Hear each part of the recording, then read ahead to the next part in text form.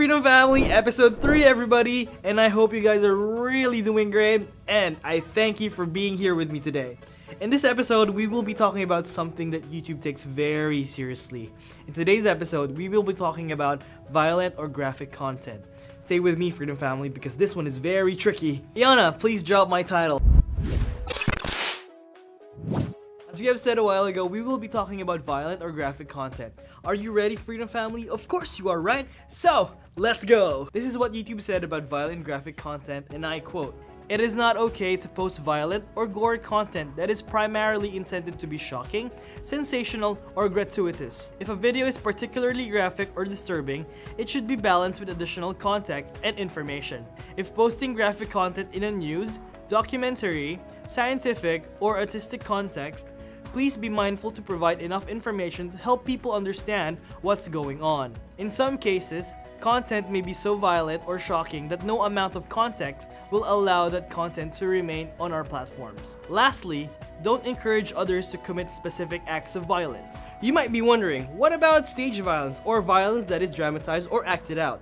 Well, this is what YouTube has to say about it. Much like movies and TV, graphic or disturbing content that contains violence, gore, or shocking content is not suitable for minors and will be age restricted.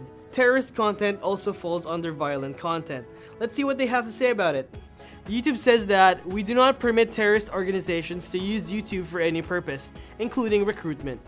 YouTube also strictly prohibits content related to terrorism, such as content that promotes terrorist acts, incites violence, or celebrate terrorist attacks. If posting content related to terrorism for an educational, documentary, scientific, or artistic purpose, be mindful to provide enough information so viewers understand the content. Graphic or controversial footage may be subject to age restrictions or a warning screen. Can I age restrict my videos that have violent content but follows these rules? Yes. Yes, you can. Here's a list of videos that will determine that your violent content should be age restricted. But just to be safe, you should age restrict all your violent content. So here we go. Where the video shows scenes containing physical attacks where the injury sustained is bloody or gory. Whether the video shows the graphic aftermath of a violent act. Whether the shots of violence or gore are the focal point of the video. Whether the violence contained in this video is realistic when posted in a dramatic context. Whether the video contains adult themes and is targeting minors. Other factors include the length of time an image appears in the video, fleeting versus prolonged, exposure especially relative to the overall length of the video, the camera angle and focus, the relative clarity of the image in the video, the video thumbnail. That was a lot, Freedom Family. Now, let's break it down. Posting violent or gory content that does not have any real educational, artistic, newsworthy, and documentary purpose is not allowed on YouTube. Violent or gory videos that are to be intentionally shocking, sensational, or gratuitous without any informative or transformative context will never be allowed on YouTube. Terrorist videos that recruits, incites violence, promotes terrorist attacks, and celebrates terrorist attacks can be classified as violent content. If you want to use violent or gory content, it must contain an abundant amount of information explaining why these scenes are being flashed on the video. If your videos containing violent or gory content follow these parameters, it should be under age restricted content. If you want to see the conditions again, you can go back to this timestamp. That was a lot, of Freedom Family. I hope you guys enjoyed and learned something from that. Also, let me know your questions, let me know your comments, your suggestions, violent reactions if you have any in the comment section below. Do it now. Comment now. Okay, in the KYC Nold edition, we will be talking about, of course, you guessed it, violent and gory content. So, here we go. Today, our first channel is Kasuwell TV 3. Hey, how are you? Hope you're doing great. Let's take a look at your channel. Okay, I see here in your channel that you tackle real-life events, and you provide information about these events by means of commentary or reaction video. That's good. Let's take a look at your videos.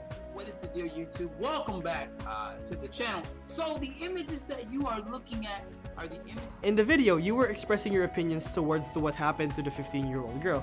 And on this video, there was a picture of the pretty little girl on the left, and on the right is her injured face, which is very graphic. In the video, you have given ample information to what happened to the 15-year-old girl. You also expressed your opinions and what you felt about the event, although you have missed an important key point. You should have placed this video as age restricted because you can see the injured face of the girl which is very graphic. Okay, let's move on. I have to warn you though, the next video contains spoilers from the Walking Dead series. If you're a fan, you can skip this one. Welcome back to the channel. So I just got finished watching Okay, in this video, you were expressing your heartfelt feelings towards the scene where Glenn was brutally bludgeoned by Negan. My mom actually cried when she was watching this episode. Again, you have given ample information on what happened to the scene and also expressed your opinions towards the topic, but you missed to age restrict this video. Let's go back to the age parameters. There is a line saying whether the shots of violence or gore are the focal points of the video. In this case, the focal point of the video was Glenn's death, and in the video, you only showed Glenn's injured face, which is very graphic. I'm sorry Kasuwell TV3, I have to rate your channel as at risk. Next up is TK Unchained. Hi, how are you? I hope you're doing great. Let's take a look at your channel. It looks here that your channel is mainly about gaming content and you have uploaded a few videos that portray funny moments and violent acts. Let's take a look at your video. You seem to be in quite the hurry. Why are you driving like that? That's it? That's all you got? Your mom. There you go. He's a man. This video shows two people having an argument, and at the end of the video, the man in red provoked the man taking the footage and that led to a fistfight. It's good that you put your videos under age restricted, but you are not allowed to use this video as it is primarily shocking and sensational. There is no information that tells us why these two people are fighting, nor there is any transformative content that can merit this video as newsworthy, documentary, educational, artistic, or scientific in context. Okay, let's move on to another video.